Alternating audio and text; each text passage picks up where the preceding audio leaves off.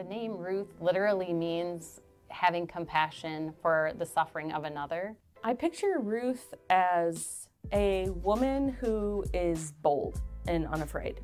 The thing that really strikes me about Ruth is just her small acts of daily obedience. She was a pretty ordinary person who showed extraordinary faithfulness and loyalty. They talk about a lot in the Hebrew culture about like the Eshet Chayil, which is woman of valor, but Ruth is also described as the Eshet Chayil. So she is this woman of valor because she's brave and she's unafraid and she's bold and she takes these risks, but it's always centered on, on who God is. In our society, there's so much pressure with social media. We feel this pressure that we have to do something big for God. And the way of Jesus so often is just showing up daily, doing small things with great obedience and love. And I think Ruth's story really speaks to that. I'm drawn to Ruth because she's sort of what I want to be, if that makes sense. Like her ability to push forward in the face of adversity, I feel like there's a lot to be learned about her grit and her determination. She puts love above everything else.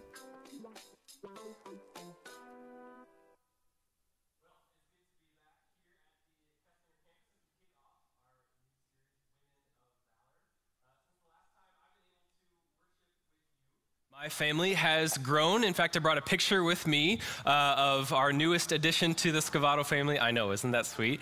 Uh, that's. That's our son Luca and his new sister and baby Nora, and of course our dog trying to get into the middle of things. It's uh, it's good that we took this picture when we did, uh, because immediately after this moment, my son went knock knock knock and then punched her in the stomach. So. So he gets his nurturing side from his father. That's good.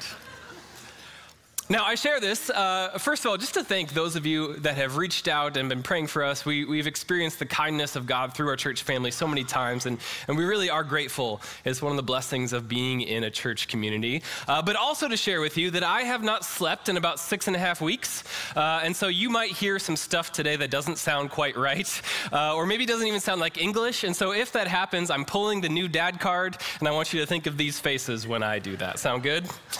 Um, as our family grows, though, this next picture has actually been on my mind quite a bit. Uh, this is one of the walls at my mom's house, uh, and what you're seeing here is kind of a family tree. Maybe you did this back when you were in school, where you kind of had to do some research on your grandparents, your great grandparents, and put together what your history is as uh, a family. And so this is picture form of that. You can see my family on both sides, my mom's and my dad's, traced back generations uh, some of whom I know the stories and some of whom I don't. But I love that my parents did this because, in a sense, this wall represents a part of who I am and who my children are as well. The reality that for all of us, that, that part of who we are, part of our values and our character and the things that we hold dear have been shaped and formed by those who have come before us and the families to which we belong. And today, this is what we're talking about, not just with my family, but with our family, those who have gone before us in our faith. As I mentioned, this series that we're kicking off is entitled Women of Valor. It's a four week journey looking at the stories of four different women throughout the Old Testament, all coming from different backgrounds and experiencing different things and, and facing different hardships, and yet they're all united in the fact that God does something in each of their lives that for us today we might consider unexceptional, but in the time of the Old Testament would have been considered extraordinary as we see God showing up not just to men, but to women, and inviting them into his story, and choosing them to be part of his family, and by faith, making them part of our family. Whose values and character and things that they hold dear form at least part of who we are today. In the video a moment ago, we heard Gretchen talk about the origin of this series title, the Hebrew phrase Eshet Chayil, this uh, translation of woman of valor. It's a phrase often associated with a, a mighty warrior. It's this picture of strength and fortitude. And it's a phrase used to describe our focus today as we look to the story of Ruth. Ruth, if you're uh, newer to Scripture, or maybe you need a refresher, is the eighth book of the Bible. So if you have your Bible with you, go ahead and turn with me there, as she'll be our focus of our study today. And so, this is our goal as we look to her story and we consider what it is about Ruth that earns her this noble title. What about her is so valiant and fierce? That we would look to Ruth's faith, her courage, her trust, and her legacy. And we wouldn't just admire an extraordinary life, although there is much to admire, but that each of us would consider how God is inviting us into his great story as well.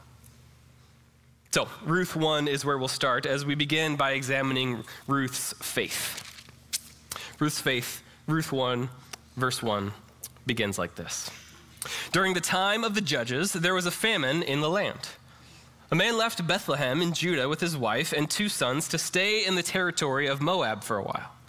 The man's name was Elimelech, and his wife's name was Naomi. The names of his two sons were Mahlon and Chilion. They were Ephrathites from Bethlehem in Judah. They entered the fields of Moab and settled there. Naomi's husband, Elimelech, died, and she was left with her two sons. Her sons took Moabite women as their wives. One was named Orpah, and the second was named Ruth. After they lived in Moab about 10 years, both Mahlon and Chilion also died, and the woman was left without her two children and without her husband. She and her daughters in law set out to return from the territory of Moab because she had heard in Moab that the Lord had paid attention to his people's need by providing them food. She left the place where she had been living, accompanied by her two daughters in law, and traveled along the road leading back to the land of Judah. Naomi said to them, Each of you go back to your mother's home. May the Lord show kindness to you as you have shown to the dead and to me. May the Lord grant each of you rest in the house of a new husband. She kissed them, and they wept loudly. So immediately, we're kind of just thrown into this tragic story. We meet this woman, Naomi, from Bethlehem, who loses her home to a famine, and then her husband and then her two sons. She's left only with her two daughters in law, Orpah, not Oprah, which I have written 8,000 times this week, and Ruth. Now, remember the, the time in which we're reading this story, as tragic as this is all on its own, that for Naomi in this moment to be a widow with no heirs and no way to continue her family line was essentially to lose your place in history. Naomi's expectation is that she would return to Israel and would experience nothing but emptiness and bitterness and pain. In fact, we see this later in verse 20. She asks people to stop calling her Naomi, which means gentle and pleasant, and to start calling her Mara, which means bitter. And Naomi knows that if her daughters in law come with her, that is the fate that they will experience as well. And so she tells them to go back to the people that they belong to, to return home and find a new family and start a new life as she walks this road on her own. Back when we were still dating, I remember uh, sitting down with Judy and telling her, uh, trying to convince her that she did not want to marry me it did not work. Um, I, I, told her I was hesitant, not because of anything that had to do with her, but rather because of the life that I knew God was calling me to. At the time, I was preparing for a life in ministry, and so I sat her down. I was like, you know, it's not always going to be easy being married to a pastor, and we might be called somewhere that you don't want to go, and we might not always have the nicest of things. Basically, I was giving her the Naomi talk. I was like, don't walk this bitter road with me. No longer should you call me Joe, but Mara, for the Lord has made me bitter. Like, go back to your people of Indiana. Like, and Judy, like, like she often does, uh, knew that I was being silly and told me so. And she told me that she was in it for the long haul. And this is what we see from Ruth as well. Look at what Ruth says in response. Verse 14. Again, they wept loudly, and Orpah kissed her mother in law, but Ruth clung to her. Naomi said, Look, your sister in law has gone back to her people and to her gods. Follow your sister in law. But Ruth replied, Listen to this. Don't plead with me to abandon you or to return and not follow you. For wherever you go, I will go. Wherever you live, I will live. Your people will be my people, and your God will be my God. Where you die, I will die, and there I will be buried. May the Lord punish me and do so severely if anything but death separates you and me. I love this last line. When Naomi saw that Ruth was determined to go with her, she stopped talking to her. There's a great mother in law joke to be made there, but my mother in law watches our church online, so I'm not going to make it. this, is, this is remarkable, though, isn't it? that Ruth, with seemingly nothing to gain and everything to lose, makes this beautiful declaration that Naomi's people, the people of Israel, will become her people. That Naomi's God, Yahweh, will become her God, that she is in it for the long haul. Nothing but death will separate this commitment. It's this beautiful moment of loyalty and courage and care. But notice this as well that this is also an act of faith. And in this moment, we see a picture of what true, authentic faith really looks like.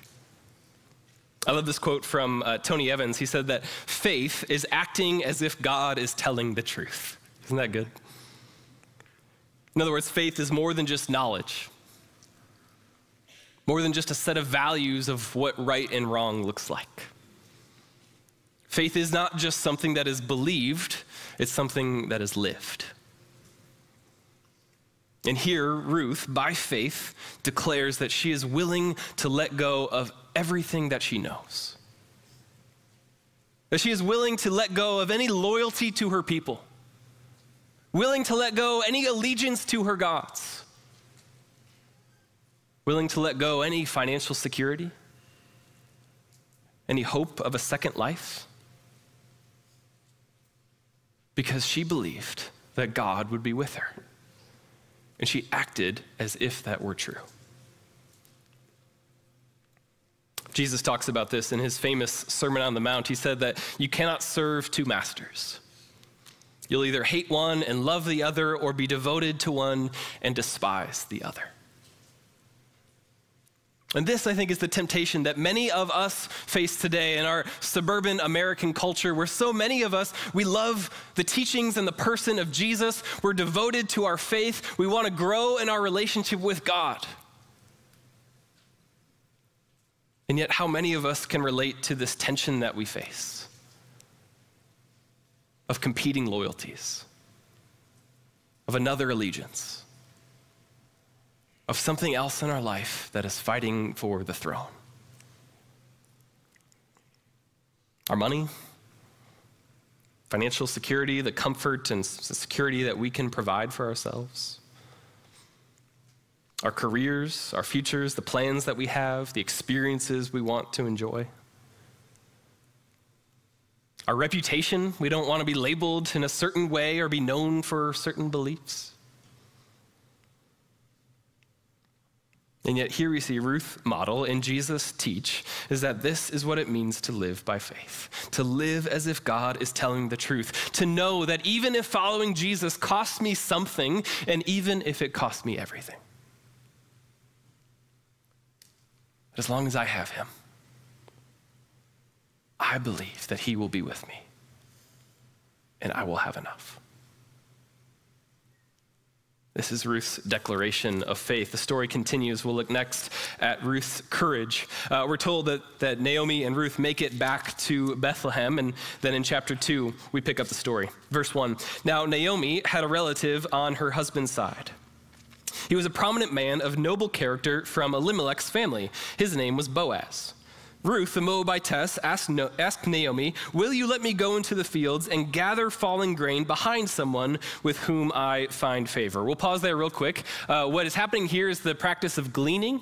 Uh, this is an Old Testament law that was essentially kind of like uh, an ancient welfare system uh, where God commanded people to not gather all of their crops intentionally. They were commanded to leave some behind so that people like Ruth and Naomi and others who were in poverty could pick it up and come behind them so that they they could survive. So that's what's happening here. Naomi answered her, Go ahead, my daughter. So Ruth left and entered the field to gather grain behind the harvesters. She happened to be in the portion of the field belonging to Boaz, who is from Elimelech's family. We picked up in verse 8 Boaz and Ruth meet. And Boaz said to Ruth, Listen, my daughter, don't go and gather grain in another field, and don't leave this one, but stay here close to my female servants. See which field they're harvesting and follow them. Haven't I ordered the young men not to touch you? When you are thirsty, go and drink from the jars the young men have filled. She fell face down, bowed to the ground, and said to him, Why have I found favor with you, so that you notice me, although I am a foreigner? Boaz answered her, Everything you have done for your mother in law since your husband's death has been fully reported to me. How you left your father and mother and, to, and your native land, and how you came to a people you didn't previously know.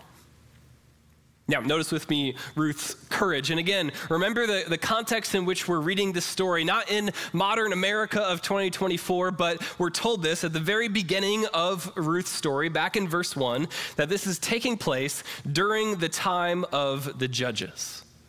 Now, we know this from the book of Judges that this was a period of time in which there was corruption all throughout the nation of Israel. It was kind of this nationwide turning away from God. And so, what God did is He allowed other nations to come in and oppress them, including the nation of Moab. And so, if you read the book of Judges, you see this refrain over and over show up uh, throughout the book. If your Bible's open, just turn back one page to the end of Judges 21. It says that in those days there was no king in Israel, and everyone did whatever seemed right to him. Years ago, I remember visiting my uh, family who live over on the East Coast, and we went to uh, Yankee Stadium in New York City to go see uh, a Yankees game. And, and, I don't remember who they were playing that day, but I do remember that they weren't playing the Boston Red Sox. Uh, and the reason I remember that is because one of my cousins who came with was a die-hard Boston Red Sox fan. And even though the Red Sox were not playing in this game, he wore a Red Sox jersey to the game.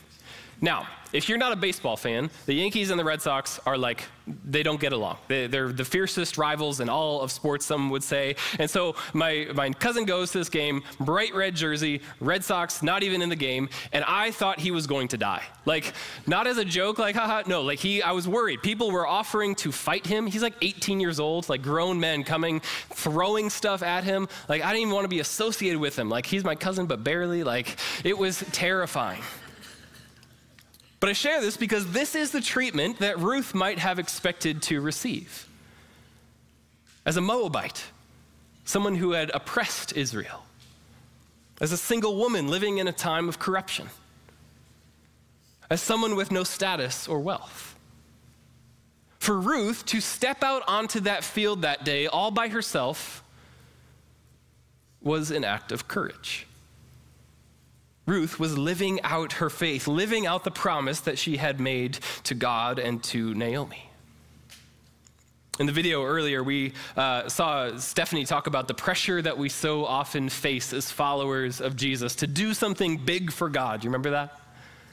This pressure that faithfulness to God means I have to change the world somehow. I love how she said this. She said that the way of Jesus so often is just showing up daily, doing small things with great obedience and love.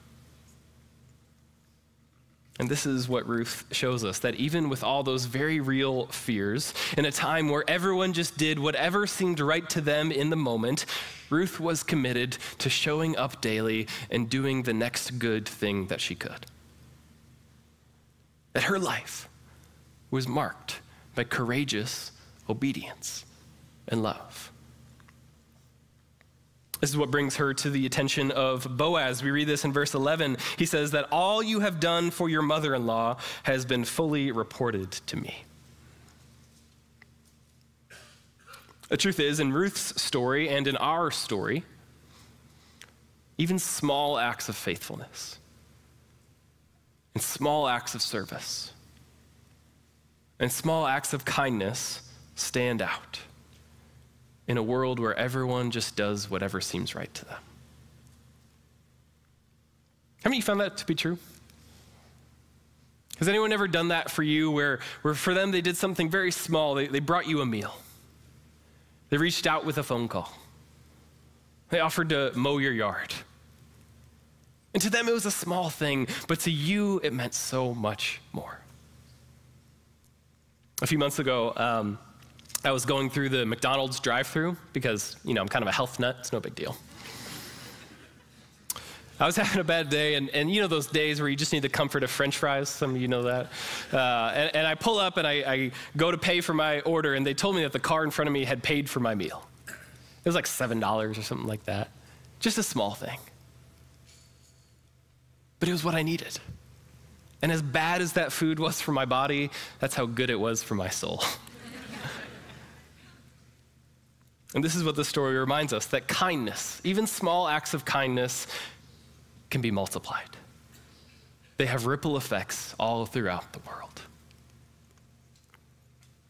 Notice this, though, that it's not just other people who see these things, but God Himself who sees our small acts of obedience. Look at James chapter 1. It says that pure and undefiled religion before God the Father is this to look after orphans and widows in their distress and to keep oneself unstained from the world. In other words, that this is the type of religion that God takes note of. A religion that cares for people who fit the description of Naomi and Ruth widows and orphans and immigrants and those who are in need. A religion that shows up when your neighbor is hurting or grieving or in pain. A religion that doesn't feel the pressure to change the world, but understands the call to be obedient. And to do small acts of kindness wherever we see them. A religion that doesn't just know what is good, but does what is good. This is the invitation of Ruth's story. It continues. We'll look next at Ruth's trust. Uh, we see this that Boaz shows this incredible generosity back to Naomi as she gleans the field and she returns with an incredible harvest and she has this exchange with Naomi. This is verse 19 of chapter 2. Her mother in law said to her, Where did you gather barley today and where did you work? May the Lord bless the man who noticed you. Ruth told her mother in law, whom she had worked with, and said, The name of the man I worked with today is Boaz. Then Naomi said to her daughter in law, May the Lord bless him, because he has not abandoned his kindness to the living or the dead. Naomi continued, The man is a close relative. He is one of our family redeemers. Notice that phrase, family redeemer, or some translations would say kinsman redeemer or guardian redeemer.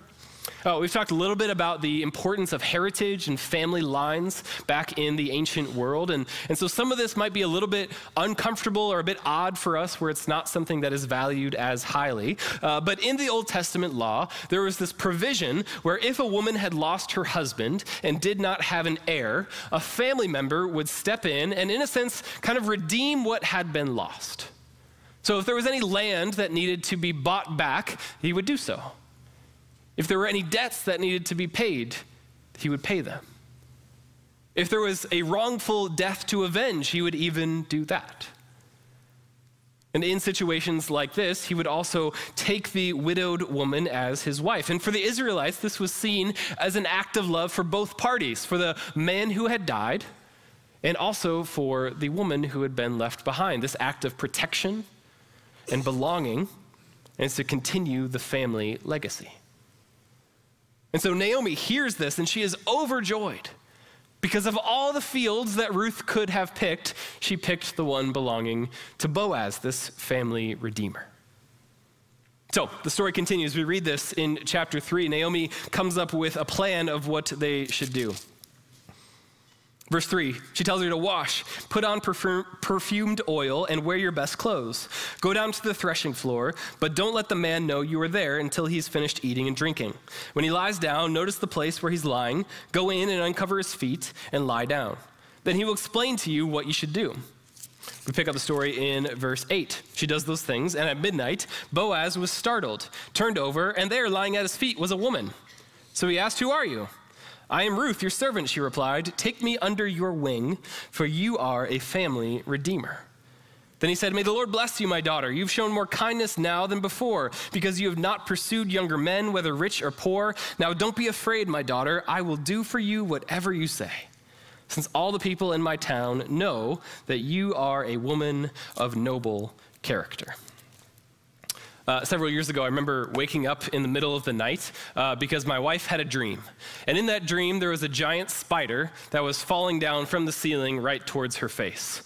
And the reason I woke up is that her response to this dream was to physically climb over me and push me towards the spider.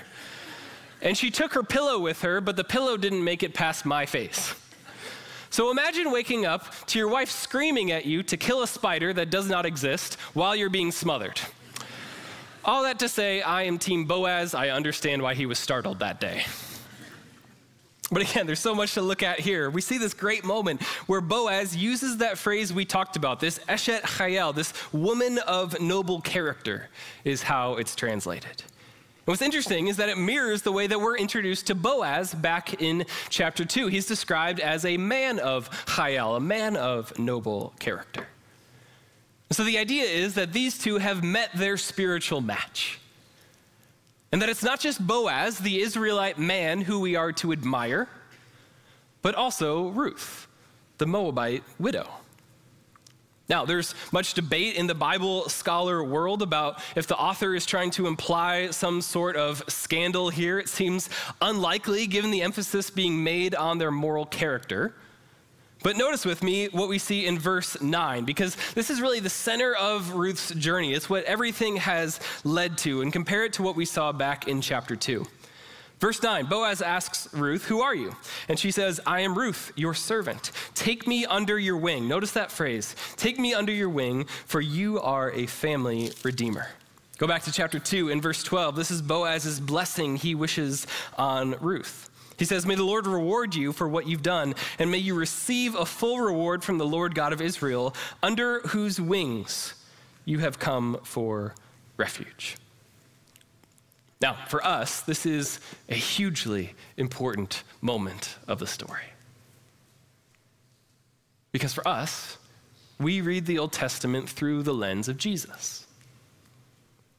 And we understand what's happening we see here that what is happening is that Ruth and Boaz are acting out the gospel story years before it was ever revealed.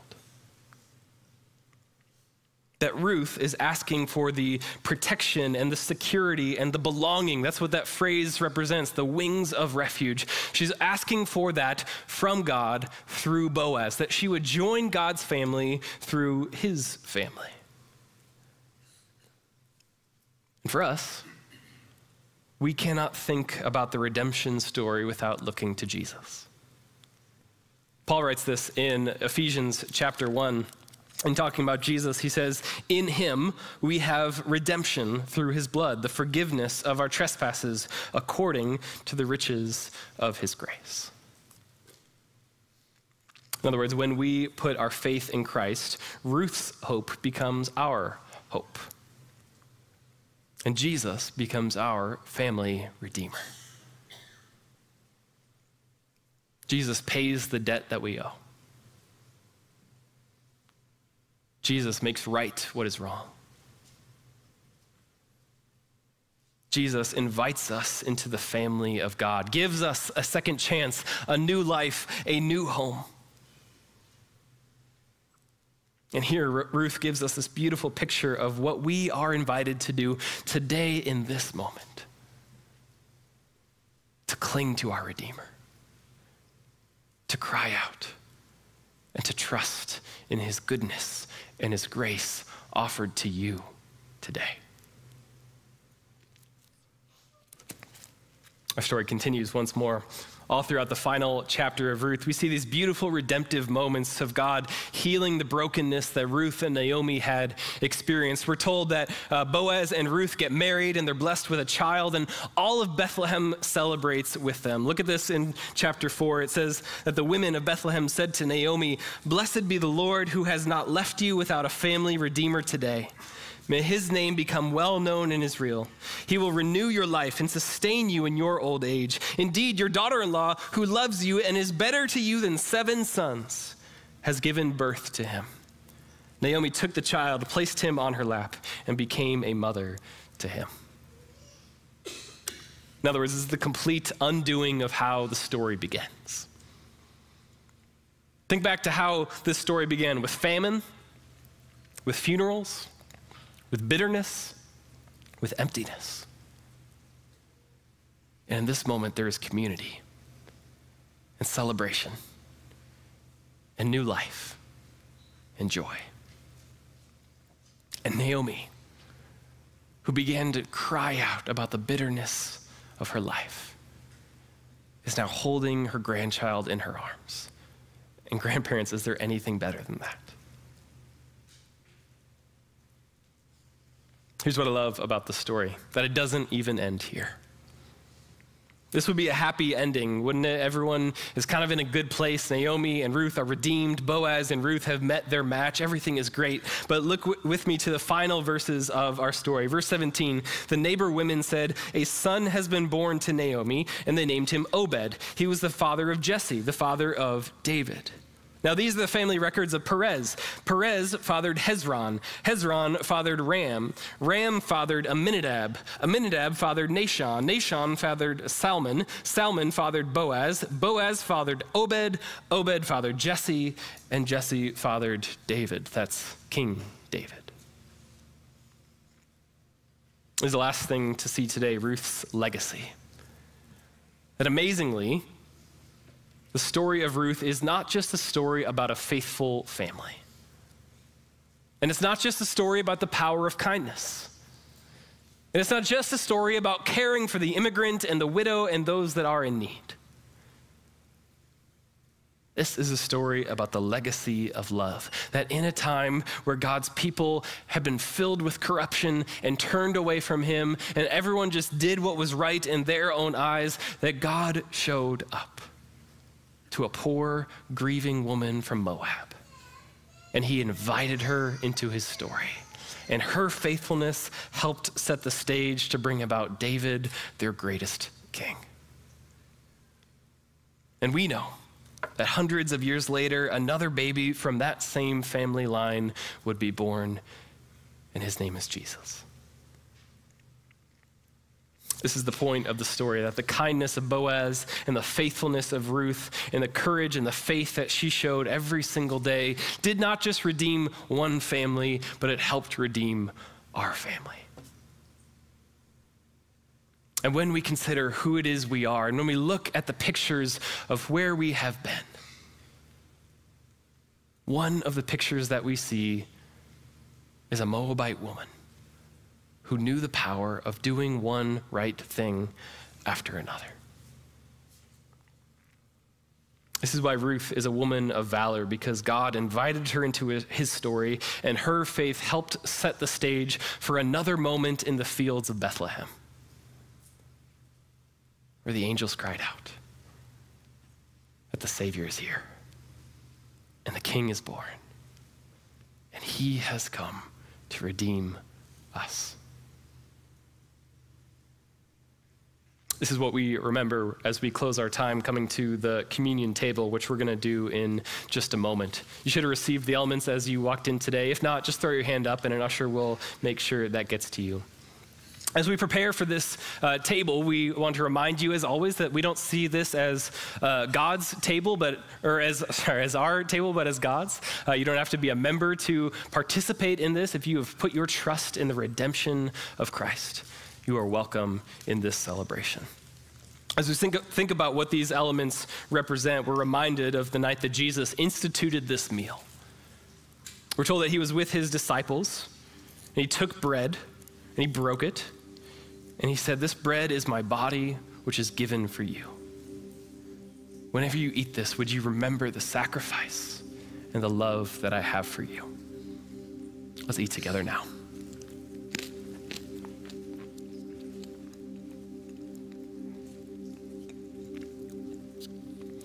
We're told later that night he took the cup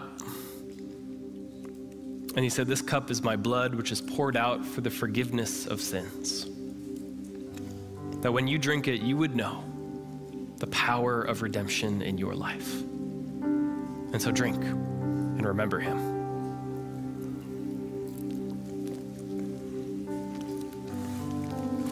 Heavenly Father, we thank you for reminders of your goodness for examples of courage, examples of faith. that point us right back to you. Lord, we pray in this moment that we would be reminded of the power of the bread and the cup to remind us of your sacrifice, to point us to the cross, to give us hope in the empty tomb. Lord, be with us now. Encourage us with your presence and your spirit. Help us to worship you in this moment. Amen. How good it is to sing praise with our church family. As we close today, just one uh, reminder and announcement I wanted to, to send you with. Uh, our registration for our annual Vacation Bible School is open, so make sure you sign up for that. Additionally, we're looking for those uh, who are willing and able to volunteer uh, to grab. We have a disco ball kind of set up out in the lobby as we start the party. Uh, what a great opportunity that we have to share the love and redemption of Christ with kids all around our community. So, hope you're able to make it to that. Now, would you receive today's benediction? Would you go today in the name and the power and the redemption of your Lord Jesus Christ, assured of the promise that he is with you? Amen.